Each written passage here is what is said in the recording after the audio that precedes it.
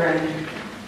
God of light and truth, as your blessing rests upon us, may our eyes be open to your word that lives in us, written on our hearts. May our eyes be open to your light and truth that guides us in every part of our daily walk with you. May our eyes be open to your light and truth that leads us to walk in ways we do not yet know. May your light and truth enable us to see your unpredictable spirit walking alongside us every step of the way, giving us courage to venture into unknown territory with you. May we seek to discern your purpose for our lives and offer ourselves willingly in service. May we harness the gifts we have been given and know the power of your Spirit. We, may we nurture one another in faith, learn from one another, and work together with you. Creator, Redeemer, Spirit. Amen. Last week, we were holding a meeting in the conference room, and I happened to look across the room and see a poinsettia plant on the table in the corner. I marveled at the fact that it looked so healthy so many weeks after Christmas. It still had all of its leaves and was standing tall. And then, of course, I realized it was an artificial plant. so much for being a gardener. Of course, real plants need nurture. Plants depend on their roots, and as long as the roots are watered and the soil is fertile, plants will grow. Many of you know that I enjoy getting my hands in the soil, planting seeds, working with cuttings, even weeding. I often feel at peace when I'm working in my garden because for me it is a form of prayer. And as I work with the soil or water my plants, God provides nourishment for my heart and soul. Sometimes my yard looks well groomed and cared for, and then other times when life gets on top of me, my yard looks to more like the secret garden, in dire need of some attention. The human soul at times must long for life in the garden, as God once envisioned it, eastward in Eden, where according to scriptures, life began. It must have been a place of incredible beauty and harmony and vibrant color. There's no place like a garden to feel at home with God. The psalmist's garden seems fairly simplistic. There were the righteous and the unrighteous. And the psalmist would have us believe there are two kinds of people. Some are like trees deeply rooted, and others like chaff are blown about by the breeze that Jesus saw all kinds of people in the Garden of Life. Jesus invited all whom he met into devotional solitude to discover that he was of God. And to this day, he extends that same invitation to you and me. We are invited to find moments of solitude and stillness every day. And in those moments of devotional silence, we are invited to experience God's peaceful countenance, God's positive encouragement, God's unconditional love, and God's gentle spirit. Jeremiah tells us that those who trust in God are like trees growing near a stream that sends roots to the water. The prophet Jeremiah preached to Israel around 600 BC and it was during some of the nation's most critical times, such as the destruction of Jerusalem, Judah, the temple, and the period of exile. There were many political upheavals in the Near East, and nations were in conflict with one another. There were many fierce battles. Many great cities fell. Josiah, during a period of reform, tried to restore the faith, removing many of the cults and practices that had dominated society, but many still believed in other gods. Jeremiah warned his people against abandoning their faith. The people of Israel were dependent on deals and alliances for survival. But these connections and contacts gave them a false sense of security. One could say that their dealings had become their God. All of their energy was directed at preserving deals that were built on fear rather than faith. These were man-made agreements in which people put their trust. And Jeremiah was warning people that the deals and schemes that they thought would give them life would only be for the short term. So Jeremiah is saying we need to be like those trees that have a constant supply of water because they can withstand whatever nature throws at them. Those who trust in the Lord are blessed because their roots are tapped into the stream of life. In other words, God can sustain us through anything.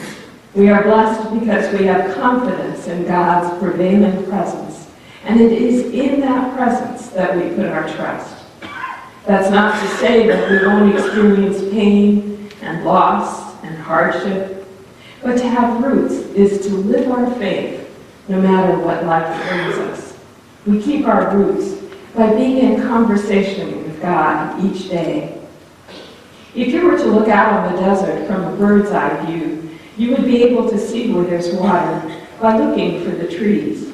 You would see clusters of green and an oasis, or clumps of green following the course of a river. The psalmist speaks of the oasis. Happy are those who delight in the law of the Lord. They are like trees planted by streams of water. And the word law refers to the Torah. To study the Torah, to study the teaching of God, to take God's instruction. If we are rooted in God's word and our hearts are drawing sustenance from God, we will flourish. Happiness comes from knowing that our lives belong to God and our futures are secured by God. To be blessed or happy means to be living and rooted in the living streams of God, to be connected to the divine source of life. Remember that Jesus taught the same message when he said, I am the vine and you are the branches. Those who remain in me and I in them will bear much fruit. For apart from me, you can do nothing. We must be a part of the vine for us to experience what the vine produces. The fruit that comes from being attached to the vine might be a spirit that becomes more beautiful with age and experience, or wisdom that becomes more gentle, a heart and mind that see the best in people. If we carry ourselves every day with grateful hearts, we will receive countless forms and symbols that contain and express the love that surrounds us. There are times when we become so self-absorbed with our own personal stuff that we can scarcely see anything else. Don't be hard on yourself in a moment of crisis if you question your spiritual strength. Even Jesus cried out in despair from the cross. Life is glorious and wondrous, and life is difficult. But God is real, and love endures. Love surrounds us. Beauty is everywhere. Angels in the flesh surround us.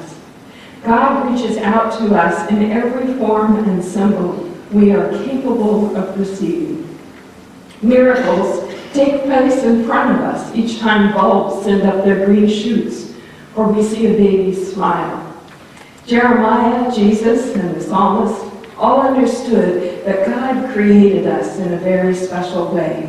And when we live contrary to the way we were designed, we fall apart. But when we cultivate and grow within God's design for our lives, like other life forms on earth, our roots grow deep and we thrive.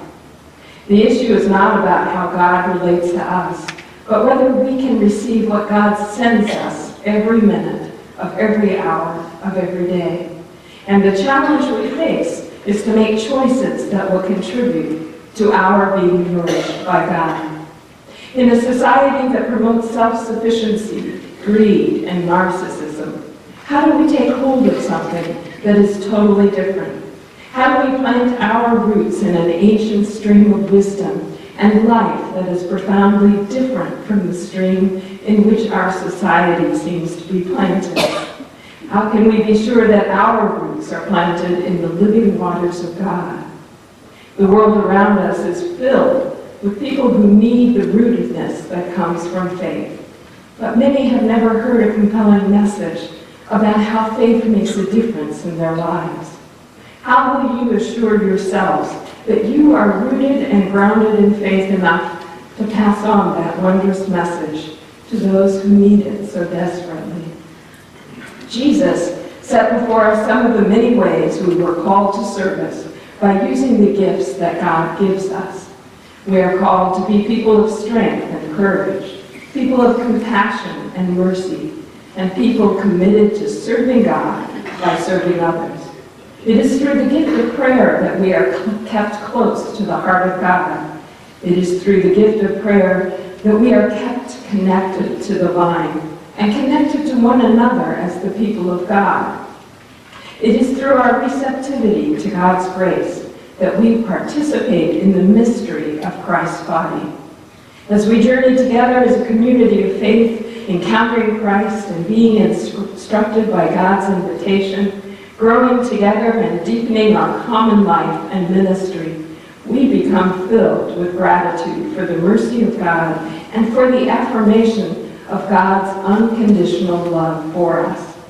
Connected with one another, the energy of the vine flows through us we are nourished as we nourish each other.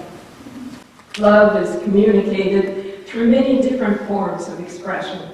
And in the many ways that Pastor Jim and I see, you reaching out to those in your midst, we are inspired by the many ways that you make love visible. For this church, this congregation, is a garden oasis in the midst of a troubled world.